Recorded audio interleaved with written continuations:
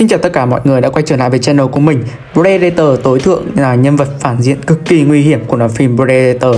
Hắn đã tự tiền hóa bản thân mình với nhiều dạng sống mạnh mẽ khác nhau, Khiến hắn trở nên mạnh mẽ không kém gì một Predator kinh nghiệm dày dạn với kích thước cao lớn, sức mạnh thể chất vượt trội thì khó có một sinh vật nào có thể đánh bại hắn ngoài những con nữ hoàng Xenomorph khổng lồ. Tuy vậy, ở trên trái đất có những sinh vật khổng lồ như khủng long cũng cực kỳ mạnh mẽ và những bộ phim điện ảnh đã khắc họa sức mạnh của chúng.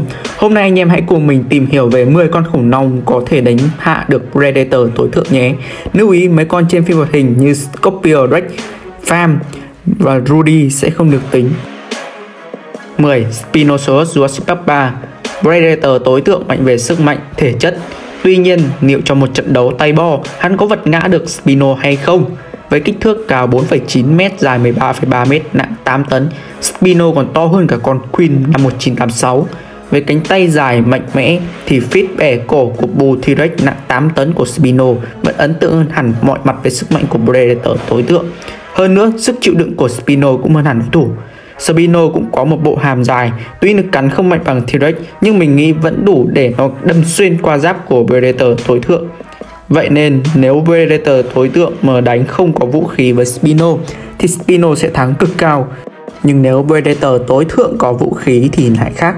Rõ ràng với kinh nghiệm chiến đấu vượt trội, hắn sẽ đánh bại Spino rất dễ dàng. Mình nghĩ rằng tỷ lệ thắng của hắn khi có vũ khí lên đến 95% các trận vì nấp dao của Sabino là không được bền, mà bị súng plasma hay máy bắn tên, bắn vào cổ hay là cấu rỉa từ từ thì nó cũng sẽ bị hạ gục mà thôi. 9. T-Rex Đại diện là Rexy với kích thước cao 5,2m, dài 13,5m, nặng 9,3 tấn. Có 7 con T-Rex trong loạt phim, tuy nhiên mình sẽ chọn Rexy làm ứng cử viên trong việc hạ gục Predator tối thượng. Lợi thế của Rexy cũng giống như Spinosaurus, tuy nhiên hai chỉ trước lại vô dụng nên trong cuộc chiến với Predator tối thượng sẽ là một bất lợi lớn vì nó không có cái thứ gì để tóm được đối thủ cả. Vì chỉ có thể tóm bằng hàm, đổi lại lực hàm của nó lên đến 5,4 tấn thì cú cắn của Rexy gây ra cho Predator tối thượng là sẽ là rất mạnh. Ngoài ra, tốc độ ra đòn của Rexy cũng nhanh, nó còn có thể chạy với tốc độ 51 km/h.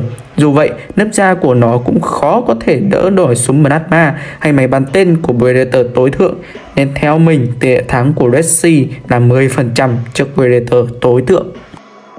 8. Giganotosaurus cũng giống như Spino và Resi, Gigan cũng to lớn và mạnh mẽ hơn Predator. Nó cũng có tốc độ chạy và ra đòn khá nhanh, cũng hơn ở sức chịu đựng. Vậy nên việc Gigan hạ Predator cũng giống như Resi. tuy nhiên nó còn to và mạnh hơn Resi một chút, dù nhẹ cân hơn Resi, Nhưng mình vẫn đánh giá rằng Gigan cũng có thể hạ gục được Predator tối thượng.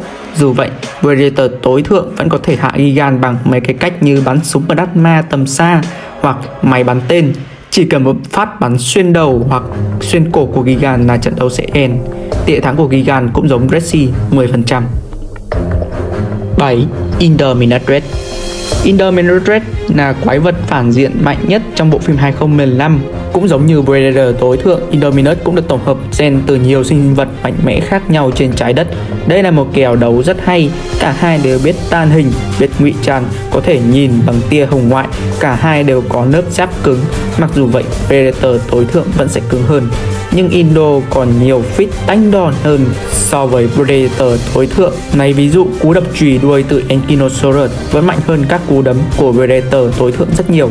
Với khả năng tanh đòn tốt cũng như sức mạnh vượt trội, thì mình nghĩ Indo hạ Predator tối thượng sẽ dễ hơn là ba vị trí trên. Nhưng nếu Predator tối thượng đứng trên cao và bắn súng Bernatma vào chỗ hiểm của Indo, thì hắn vẫn có thể thắng trí tuệ và kinh nghiệm tốc độ né đòn của Predator cũng trội hơn, nên mình nghĩ Predator tối thượng vẫn sẽ cả thắng cao hơn. Tỷ lệ thắng của Indominus Red khi full size là 20%. 6. Ceratosaurus 2013 là một con Ceratosaurus khổng lồ với kích thước còn lớn hơn cả Indo và Gigan, là kẻ săn mồi mạnh mẽ hơn bất kỳ cá thể nào trong loài. Mặc dù là một kẻ săn mồi được nhân bản, nhưng nó đủ bền bỉ để chịu đạn từ súng trường của con người, giết một con Pteranodon bằng một cú cắn. Nó còn nhanh đến mức bắt kịp cả một chiếc xe ô tô. Những bước đi của nó đủ để làm nứt đường bê tông, có thể nhấc cả một chiếc trực thăng chịu được tên lửa tông vỡ tường của một tòa nhà Mình nghĩ chỉ cần nhiều đầy fit cũng đủ để nó có thể đánh bại được Predator tối thượng. Điểm yếu của nó là ngu hơn Predator tối thượng. Mặc dù vậy, dù không sở hữu nớp giáp cứng, nhưng mà rõ ràng tanh hai quả, ba quả tên lửa mới ngọt như nó thì mình nghĩ rằng có thể khẳng định rằng nó có độ bền mạnh hơn Predator tối thượng. Vì vậy mình đánh giá rằng tỉa thắng của Ceratosaurus 2013 là đạt 40%. Ở vị trí thứ 5, Virex cao 5,5m, dài 15m, nặng 12 đến 15 tấn.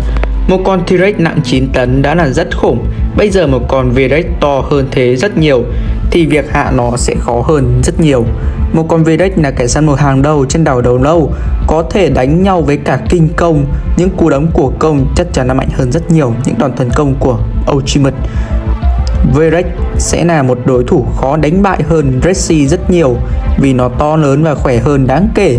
Khả năng tanh đòn thì trên cả tuyệt vời.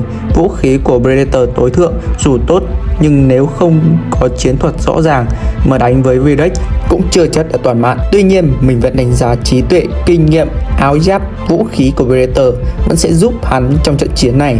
Predator tối thượng vẫn sẽ có thể hạ gục được Verex. Tịa thắng của Verex theo mình đánh giá tầm cỡ 25 đến 35%. 4. Blue Eye cũng giống phim Dinosaur 2000 của Disney, phim Dino King 2012 cũng là phim ảnh và không giống hoạt hình chỉ là hiệu ứng hoạt hình lớn hơn đáng kể so với phim Dinosaur. Blue Eye cũng đồng Rexy và Gigan, tuy nhiên nó bền và khỏe hơn đáng kể. Dù không bền và khỏe bằng Carnotaurus, nhưng nó cũng xứng đáng có mặt trong danh sách này. Việc Predator tối thượng hạ Blue Eye thì còn tùy vào thời gian, nhưng Blue Eye có thể nửa Predator tối thượng, sau đó hạ hắn bằng một cắn duy nhất. Tịa thắng của Blue Eye theo mình đánh giá cỡ 45%. Ở vị trí thứ ba, Canothod của Disney năm 2000. Chắc các bạn sẽ thắc mắc là tại sao Canothod lại có mặt trong danh sách này. Đơn giản vì phim Dinosaur nó không giống hoạt hình mà chỉ là búp như phim hoạt hình mà thôi. Nên mình mới đưa Canothod vào với kích thước cao 5,8m và cao 7m khi đứng thẳng hoàn toàn, dài 15 đến 18m, nặng tầm cỡ 15 đến 18 tấn thì mình không quá khó hiểu là tại sao Canothod còn nguy hiểm hơn cả Freerex. Tuy nhiên, thứ làm nó trở nên nổi bật là fit tanh trận đá đè mà nó không chết hàng trăm tấn đá đè nên nó mà nó vẫn thoát ra được mà còn hồi phục rất nhanh.